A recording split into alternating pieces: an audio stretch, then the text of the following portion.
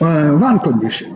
The other condition, uh, we would have uh, then perpetuum mobile of the first car, so it, it's it's not not allowed to be done. So that is uh, one condition.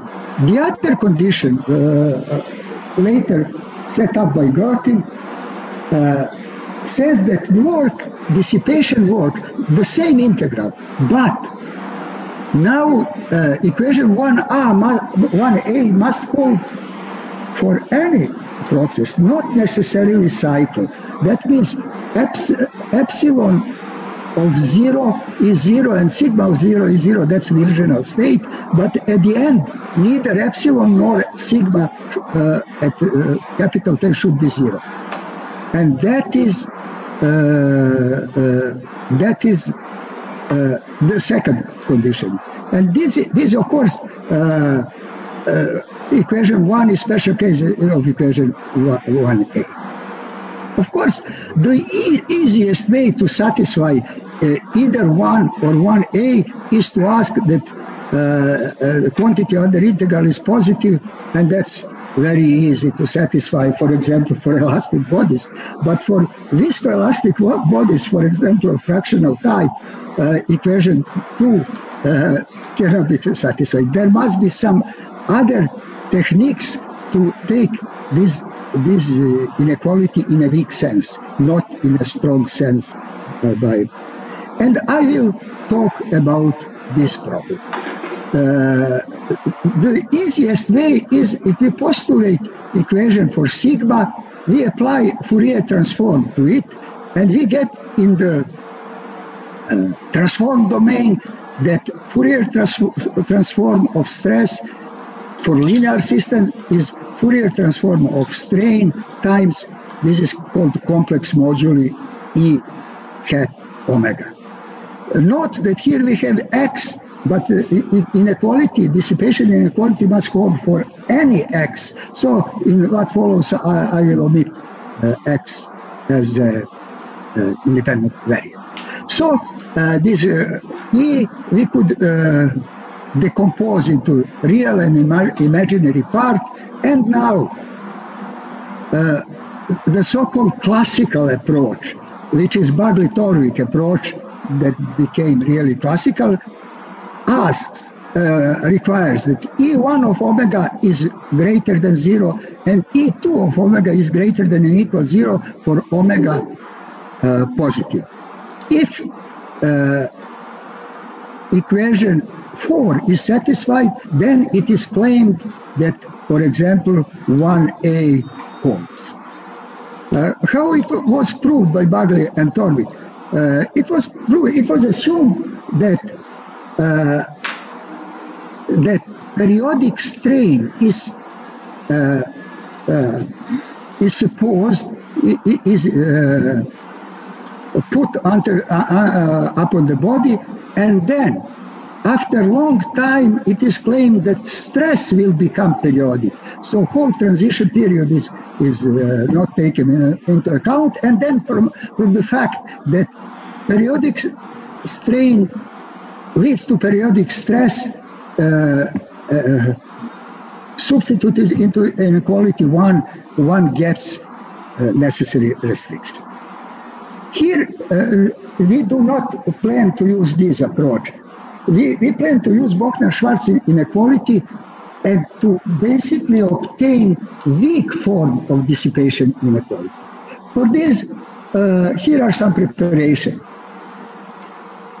Uh, we, we will uh, use uh, two spaces of functions, one of smooth, smooth functions with compact support and one rapidly decreasing function, S.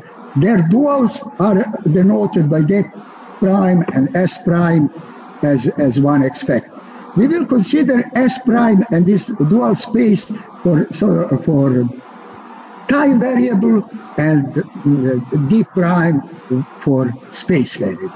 Uh, Fourier transforms are defined in standard way. And uh, the point is uh, the following. Uh, we shall first prove that if f belonging to S prime is uh, odd, antisymmetric, uh, then we will have that uh, uh, inverse will be also uh, so antisymmetric. Uh, here, is no negative definition of no, negativity. And our first uh, proposition is the following. If f belongs to S prime, and that, that is its Fourier transform, we will assume that uh, uh, FR, F1 and F2 are real. And then if we, assume that F1, this real part, is even and that F2 is odd. The proposition says that invert, uh, inversion of this uh, Fourier transform will be real. And here are a small uh, proof of this. And now, as I said, we will use Bochner-Schwartz theorem. And uh, before I uh, apply it, here, here are, it is just stated. I'll, I'll state it later. Uh, here uh, comes to an example on how our procedure works. We will consider one uh, very well-known constitutive equation for viscoelastic body. It's uh, uh, called Burger's model. We have uh, two derivatives of, of, stress, integer order, and the other side two derivatives of strain strain rate. So this is our uh, constitutive equations, and we want to first fractionalize it, so put here fractional derivative, and then determine restrictions on coefficients in equation 5, and then uh, restrictions for equation 5 will, will follow as a special case when derivatives become integer order. So what are we going to do is equation 6. We have uh, derivative of order alpha and 2 alpha of uh, sigma and derivative of order beta, 2 beta of strain rate. Alpha and beta both be belong uh, to 0, 1. Uh, f is absolutely continuous in order the derivative to exist, and we will treat Riemann-Weyl fractional derivative as given here. Uh, in the sequel, we will assume that epsilon satisfies here conditions stated as the conditions A, and we will assume that uh, support of sigma is zero infinity and sigma is of polynomial growth. Uh, uh, here support zero, uh, zero, uh, zero infinity means that we are starting from virginal state. Uh, Applying Fourier transform to equation 6, uh, we get uh, the following equation so that this what in, in control theory uh, is called tra uh, transfer function is given as function 7 uh, uh, we shall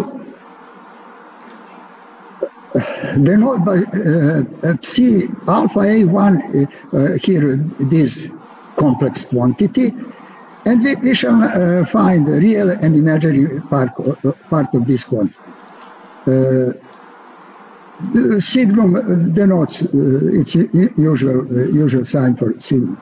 Uh, what is important for when omega changes, we can here skip this omega greater than zero and use omega to prepare uh, to uh, belong to R plus, but then when omega is minus p turns to minus pi. And now we apply the lemma from above to uh, transfer functions 7. we write it in this and then uh, define this. It's more technical. This is real part and this is imaginary part. And it's easy to see that real part is uh, even and that imaginary part is odd. And now uh, we, we are trying to, deter, deter, to determine restrictions of alpha, beta, AE, and BI uh, so that inequality, dissipation inequality holds. Uh, to do this, we shall write the following. Uh, this is not dissipation. If you recall equation one, uh, this inner integral will go up to dt, this one, and then, uh, uh, uh sorry, d tau will go until small t, and then dt will go until value t. But we are integrating all the way, both integrals to capital T in order to apply Bochner-Schwartz theorem. So uh, we write it as a sum of two integrals, and integrals are given f1 and f2. We will show that I2, because of antisymmetry, is zero, and that E1 is 2 uh, given to this one. Uh, E1, uh, note, uh, this is exactly integral of our dissipation work. To do that, this, uh, here is our uh, dissipation work, and this is uh, just another from T, that's exchange of order of integration. it 2 is 0, and so we get E1 something like that. Therefore, our dissipation work is just this. And now we start with Bochner-Schwartz theorem. Bochner-Schwartz theorem says that integral over R F1, in our case F1, uh, theta, theta conjugate uh, is greater than zero if, if F1 is positive measure. So, uh, positive tempered measure. Uh, so we are going to, uh, and it's uh, important to note that theta here belongs to D, so it's smooth, space of smooth functions with compact support. We do not have for epsilon smooth function. That's one problem that we have to solve. So anyway, for smooth functions, this holds. And now we, will uh, use a sequence of functions uh, real valued functions from S, they are smooth such that on any compact interval they uh, converge uniformly to epsilon, which is not smooth. And then we define a, sequence of value of functionals for our sequence of, uh, of smooth function converging to epsilon, and we conclude that uh, the limes could go under integral sign so we conclude that our E limes for smooth functions converges to uh, first of all for for uh, uh, for odd part, and then for even part we get even part. Those are even functions. We get that zero, which is uh, this is Bochner-Schwartz theorem, and this is what we obtain. This is just the, uh, the formation work. So, a necessary and sufficient condition for uh, this problem that uh, uh, the dissipation work is positive is that F1 is positive tempered. Uh, from uh, Fourier transform of it, we conclude that the following condition must be satisfied. It's easy to see that for alpha and beta for, uh, between zero and one half, uh, uh, that 40 is always satisfied. When uh, beta is larger, then, uh, for example, simple case when alpha is bet, uh, beta, that means derivatives of stress, fractional derivatives of stress and strain are equal. We get as a necessary condition this one. And then we easily see that 15 is satisfied if the following uh, holds. Equations uh, uh, 16. I just go back to constitutive equations to, to show what does that mean? When we look constitutive equation, see we have alphas, we took alpha equal beta, but A1, A2, alpha, B1 and B2 have to satisfy equation 16 in order that constitutive equation has, uh, has physical meaning. So that must be satisfied. Uh, equation uh, 16 shows that the restrictions of, of coefficients uh, in the constitutive equations are weaker than the one that follows from Bagley-Torvik uh, equations presented in reference 12 at the end. Namely, uh, uh, in the reference, re lately it, it, was done by two Bulgarian scientists, and they had restrictions by Bagley-Torvik method, 16 plus 17. We do not have 17. And that's easy to explain. We are using weak form of uh, dissipation inequality. So we do not require at all 17. And now uh, a small generalization. We may uh, put, we may have a constitutive equation containing many derivatives, uh, say n derivatives of stress and n derivatives of strain. Then forming uh, uh, stand, standard very complex modulus dividing by E omega, which, which is required. Those are functions F1 and F2. And then uh, uh, constitutive equation of the time, type 19 will satisfy dissipation inequality for cycles if uh, F1 real part is even function and positive for omega greater than zero. Uh, imaginary part is odd function and positive for omega uh, uh, in real life, but just uh, uh, uh, we will see that it could be reduced only a positive. And then this equ equation, which says that that kernel must define tempered distribution, measure that is tempered distribution. So those are conditions that our method requires for physical admissibility. Uh, uh, uh, uh if we consider Bagley-Torvik,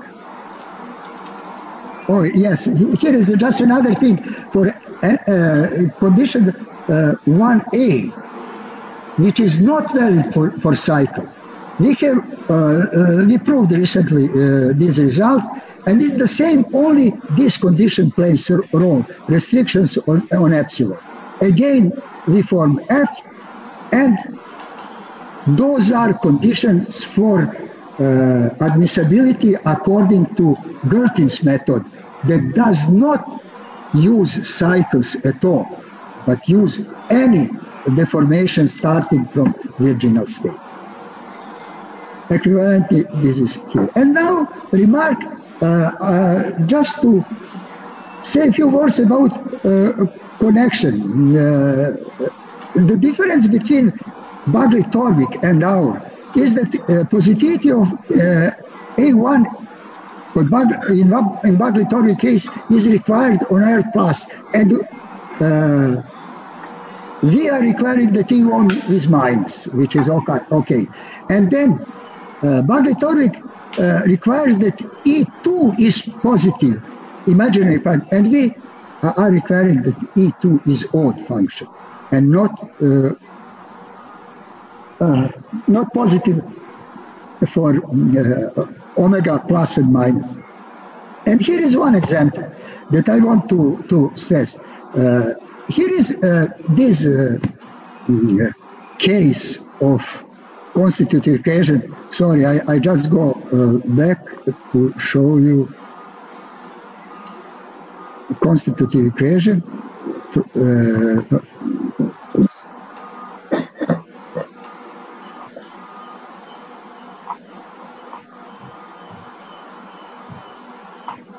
uh, here is.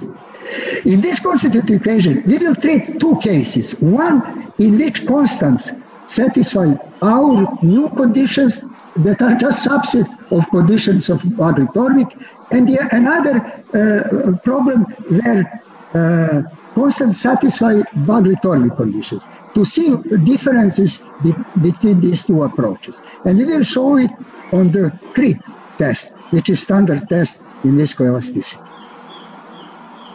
And here it is. Uh, in the first, we, we take, uh, take the case alpha equal beta 0.7, A1 uh, in B1 equal 1, and uh, A2 0.5, B2 1. For these values, parameter, uh, uh, parameters of our conditions are satisfied by Bagley-Torvik are not. Case 2 in, the previous say uh, uh, the same as in pre previous case, but only uh, how much our condition does not satisfy Bagley-Torvik is stressed. And finally, a case where both conditions are, are satisfied and as last example, Hooke's law, where uh, alpha equal beta is 0.7 and all constants are the same. And we see the, the following. Uh, Bagley-Torvik conditions are case-free. So uh, creep starts its uh, concave curve. Uh, this is Hooke's body, uh, case 4. Uh, this is uh, Bagley-Torvik satisfied, and this is our. Our is not concave at the initial stage. Uh, so uh, conditions that we propose uh, go like this, and Bagley-Torvik is above.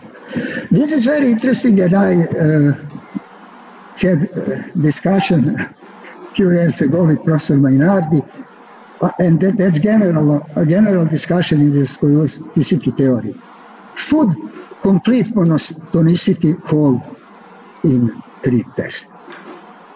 Or put to, put it differently, does second law of thermodynamics uh, imply absolute monotonicity of CREEP law? The answer is no.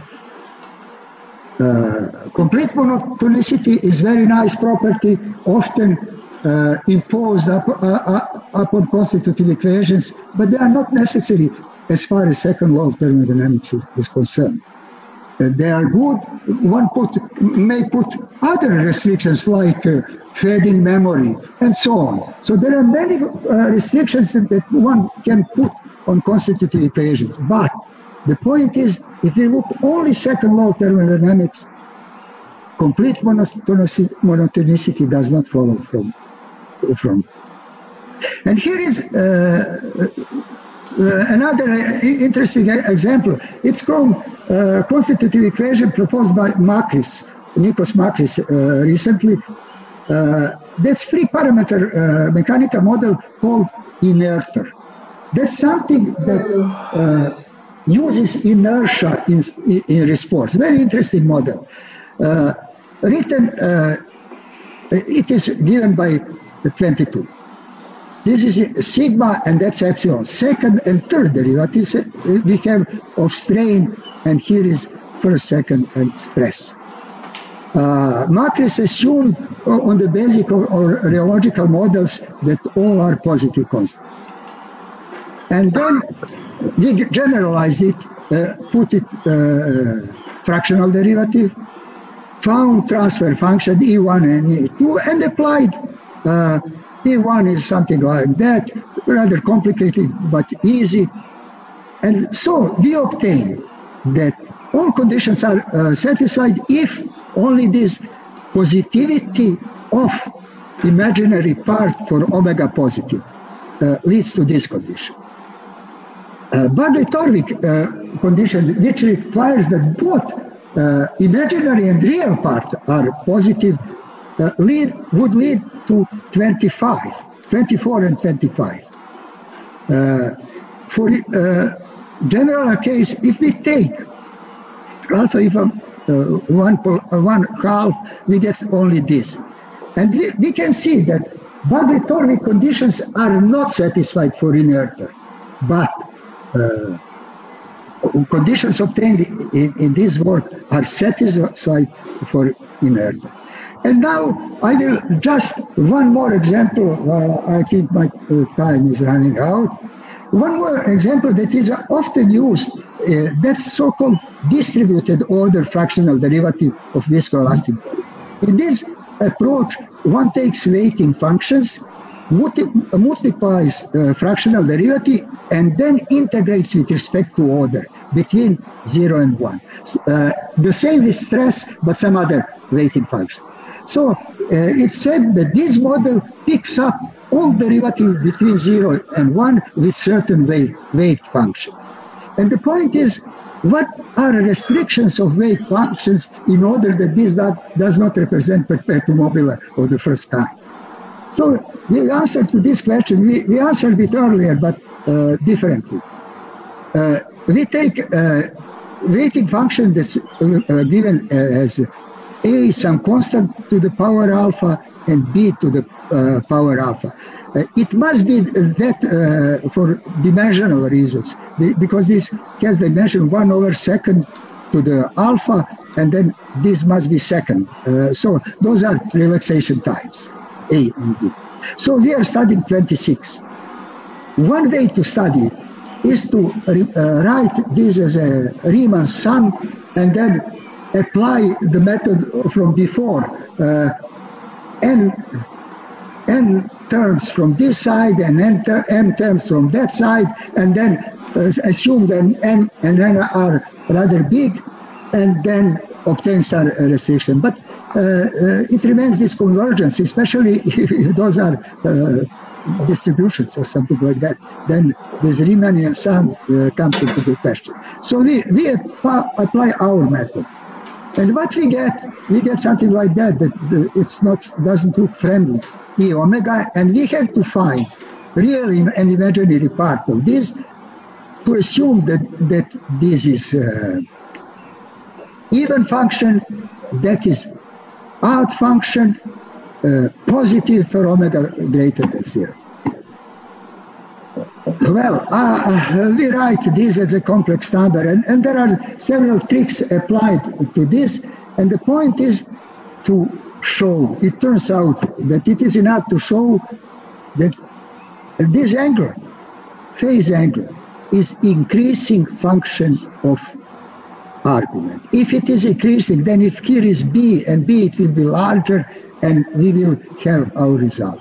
So it turns out that one has to prove that this kind, this function is increasing function, and there are several to uh, here problems. One has to uh, consider interval 0, 1, and uh, then 1 infinity, and it is all uh, done. I would not bother you with the details. In any case, one concludes that B must be equal to A, uh, larger than A, sorry. And finally, as a conclusion, I would say the following. Consider constitutive equation of viscoelastic body that has here uh, real fractional derivative uh, and here complex order fractional derivative that we introduced in our earlier work. This d alpha beta is given as, as, as here. So restrictions on, on this equation is rather easier, straightforward to find by the method proposed here. Uh, so we find uh, complex modulus, find E1 in A2, and then E1 uh, great, E2 greater than zero requires this condition. That's kind of no, uh, strange condition on coefficients in equation, uh, imaginary part of the derivative and the real part of the derivative here also. But that must be satisfied in order that that equation uh, here has physical sense. So, if one wants to study, for example, if one wants to study waves in such a material, one will study equation of motion, constitutive equation, here a definition of strain, uh, initial conditions, and boundary condition, and plus restriction in this. And that's the point of my presentation. If one only has experimental set of values, or one wants to determine uh, uh, values of uh, order of fractional derivative from experiments, usually one gets several points, and then one tries uh, tries to uh, make, say, creep curve passes through this point. Usually, this problem has many solutions, and then one must. Uh, in determining numerically values from experiments, one must, ob- must observe restriction of this kind. And that would be uh, end of my section. Uh, here are references and thank you for your attention. Okay, uh, thank you very much for very interesting applications of uh, fractional calculus. Okay, please, if you have, have any questions, is there any questions, please?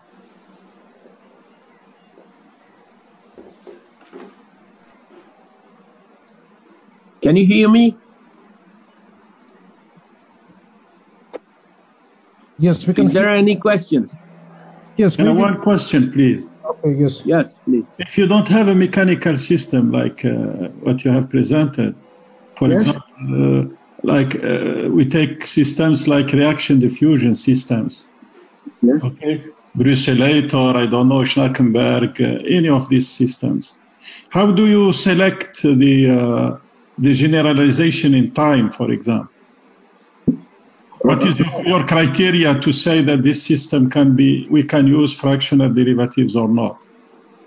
Uh, I think we could use, because over there uh, restrictions of the kind presented here does not hold. For example, in pharmacokinetics, which I, I know that I have a paper on that, yes. Yes, uh, uh you have uh, the following uh, effect. Sometimes uh, medicament goes it, into bones and later it's rela- uh, released from the bones. In yeah. mechanical system, something like that does not exist. So in such a system, uh, creep curve or uh, stress relaxation curve have waves. And that is possible for some for some systems. Uh, uh, I don't know what criteria would be for, say, biological systems, but here is for mechanical, mechanical systems. It's clear, yeah, it's clear. Uh, based on second law of thermodynamics. Yes, yes. Thank you very much. You're welcome. Any more questions, please? Maybe I will ask uh, Theodor. So you, you, showed some interesting systems, uh, uh, mostly with constant coefficients, but do you think from the mechanics uh, point of view, some equations with variable coefficients could be considered or also treated by these methods? Uh, well, uh, with variable co coefficients, I don't know because I could, uh, I cannot see how uh, you would use uh, Fourier transform. You know, if it is variable, because probably with some tricks or some very clever substitution or something like, like that. But for uh, uh, the, here the method is for uh, for systems with co constant coefficients. That's yeah. Mm -hmm. Okay. Okay. In, any more questions? Okay. Thank you, uh, Theodor, for very interesting talk. So, uh, can we go to next next talk, please? Next talk okay. is uh, by uh, Stevan Pilipović, uh, same university.